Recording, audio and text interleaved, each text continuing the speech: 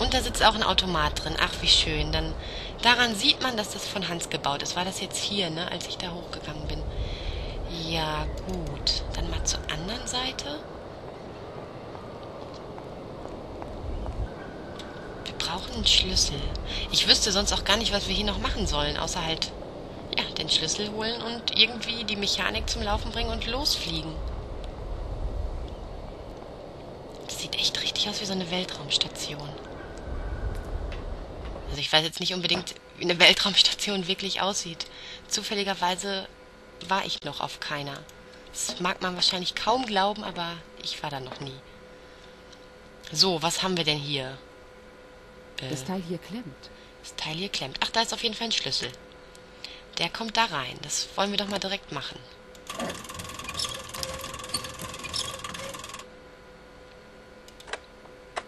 Was ist das hier alles?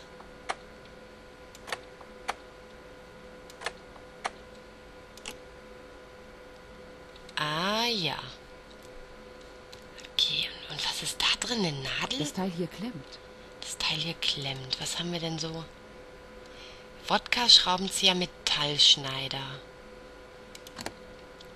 Können wir hiermit irgendwas machen? Wahrscheinlich auch nicht, ne? Wodka? Nö. Ah. Aha, okay. Verfahren abgebrochen. Zentrifuge leer. Blutpro Blutprobe erforderlich. Ah. Blutprobe erforderlich? Verfahren abgebrochen. Ja, dann Kate. Fass doch mal da rein, das ist doch eine Nadel. Oder sehe ich das jetzt falsch? Ähm. Ah, hä, hä, ich, ich raff das hier gar nicht. Blutprobenapparat. Müssen wir hier vielleicht irgendwo noch Wodka reinkippen? Oder müssen wir das so machen und dann mit Kate benutzen? Nee, das funktioniert nicht. Blutprobenapparat. Nee.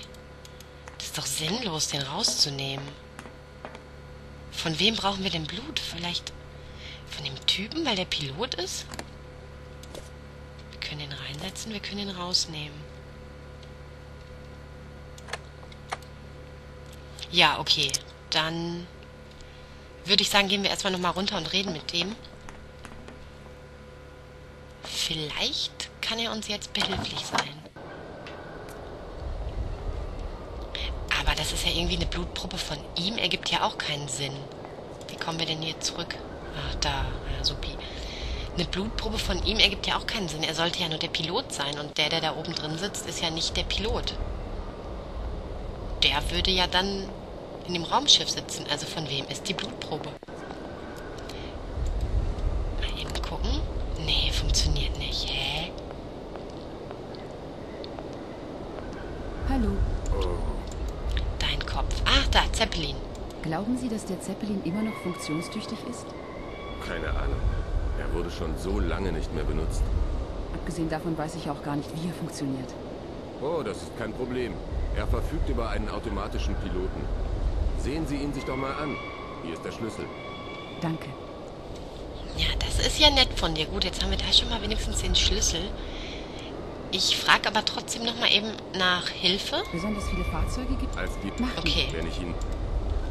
Dann noch mal Mission. Ich bin mit dem Zug. Nee. Er, Okay. ich muss jetzt. Tun Sie... Es hätte ja sein können, dass sie jetzt irgendwas zu der Blutprobe sagt, aber nun ja. Äh, wo wollte ich hin? Zeppelin, genau.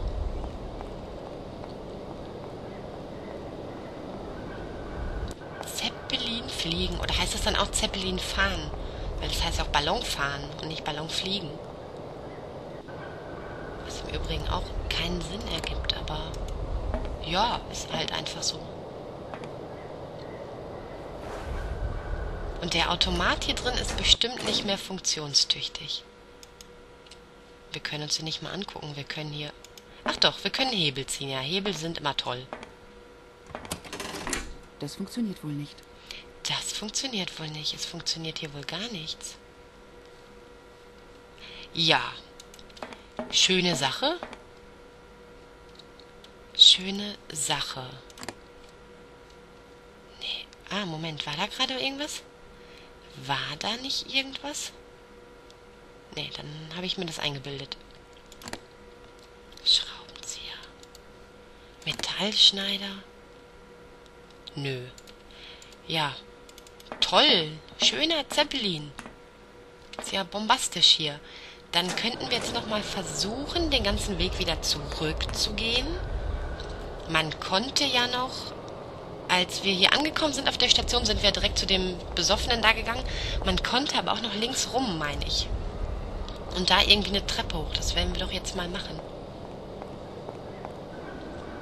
Ach, er ist auch wieder weg. Okay. Das hat doch bestimmt jetzt was zu bedeuten. Aber trotzdem gucke ich erstmal noch hier hinten. So, da nämlich. Da können wir doch bestimmt ganz nach oben.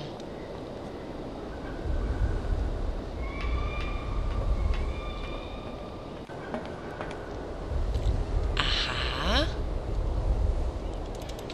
Aha. Was ist das? Ist das ein Das Megafon? funktioniert wohl nicht. Das funktioniert wohl nicht. Hier funktioniert ir- irgendwie gar nichts.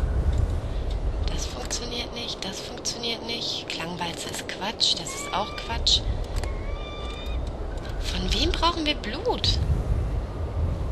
Verdammt. Gut, dann gehen wir halt wieder runter. Da irgend so eine Truhe, aber sonst können wir hier auch nichts machen. Ja, dann jetzt nochmal zu dem Besowski, der sich jetzt wahrscheinlich hingesetzt hat, sich die Wodkaflasche genommen hat und sich mal wieder einen hinter die Binde gekippt hat und jetzt wieder total besoffen ist. Kate, rennst du mal bitte, Dankeschön. So. Das ist aber auch, ich weiß gar nicht, ob das so ein böses Vorurteil ist, dass die Russen nur Wodka saufen. Also klar trinken Russen ja auch mal Wasser, ne? Ich war ja noch nie in Russland. Ist das echt so extrem, dass die da nur Wodka saufen? Oder immer schon relativ früh Wodka saufen? Scheiße, wo ist denn der Typ? Hey, wo bist du denn? Ich weiß überhaupt nicht, was ich machen soll. Ich stehe total auf dem Schlauch. Ist hier vielleicht noch was, was ich übersehen habe? Nein. Ja, dann weiß ich es auch nicht. Blutprobe, Blutprobe. Von wem? Und warum? Vielleicht? Doch, jetzt habe ich gerade eine Idee. Vielleicht ist Kate einfach eine feige Socke und muss erstmal einen Schluck Wodka trinken. Komm mal da von der Treppe ein bisschen weg. Und muss erstmal einen Schluck Wodka trinken, damit sie sich traut. Nee. Okay. Ihr wisst, was ich meine. Ich hätte jetzt gedacht, nur dann traut sie sich da mal den Finger reinzustechen in so eine kleine Nadel. Wo ist denn der Typ jetzt?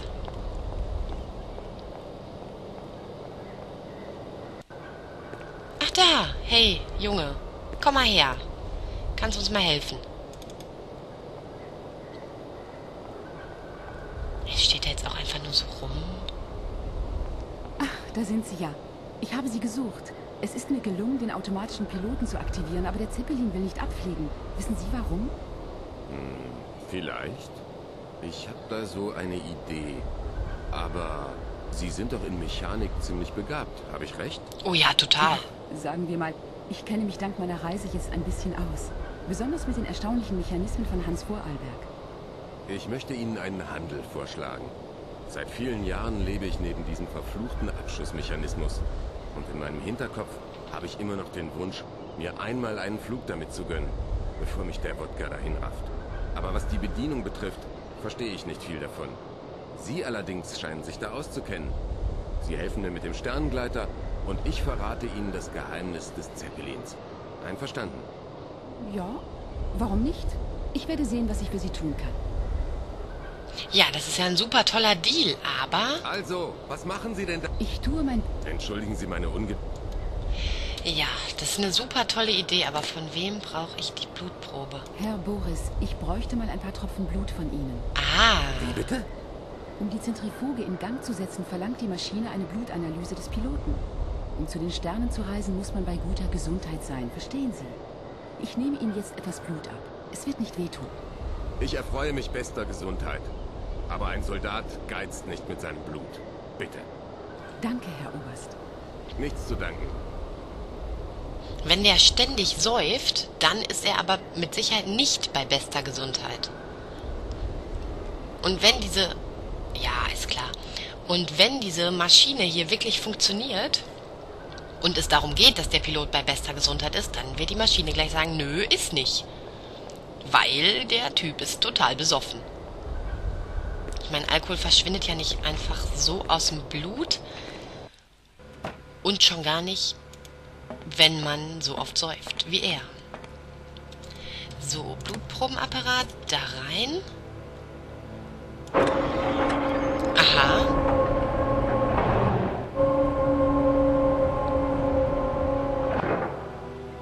Ähm, ja. Haha, Alkoholspiegel zu hoch. Ich hab's mir gedacht.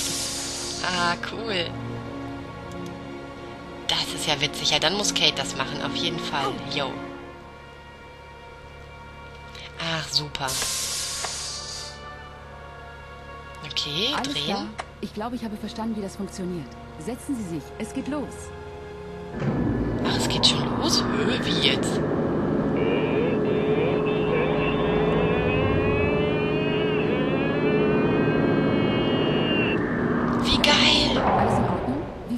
Sich? Sehr gut.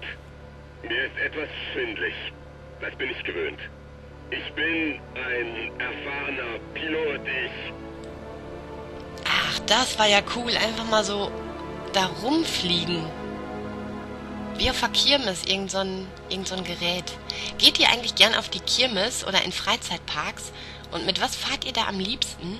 Das würde mich ja mal interessieren. Ich glaube, Thema Freizeitparks hatten wir schon mal. Ich kann übrigens gerade nichts machen, weil der da zu seinem Gleit Walker, läuft. empfangen Sie mich. Ja, klar und deutlich. Äh, Roger? Äh, so richtig nicht. Sprechen Sie bitte lauter. Was? Geht doch. Ich bin bereit. Drücken Sie auf den Befehl zum Abschuss. Ach, cool. Ja, dann mal viel Spaß, ne? Tschüss. Ja, eingeleitet. Start wurde eingeleitet. Countdown läuft. Ach, Herr cool. Oberst, Sie haben etwas vergessen.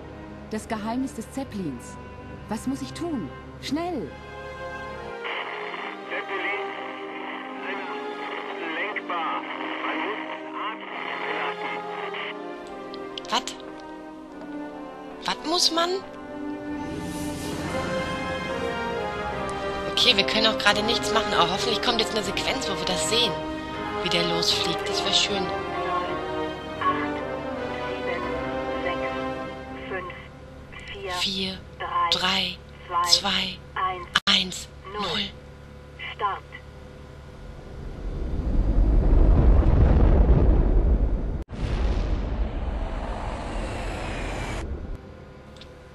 Äh, ja, das war ja jetzt. Das war ja unglaublich spannend und sensationell gerade.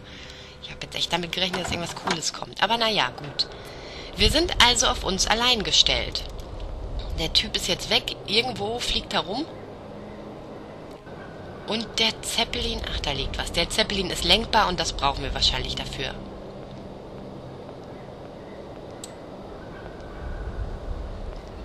Und was ist das? Kate packt einfach alles ein.